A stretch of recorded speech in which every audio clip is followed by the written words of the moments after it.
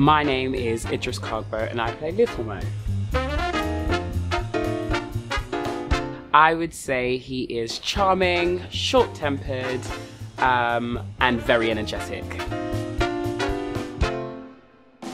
Uh, Ray Charles, I love his music. His story is so inspiring, and I think he's iconic.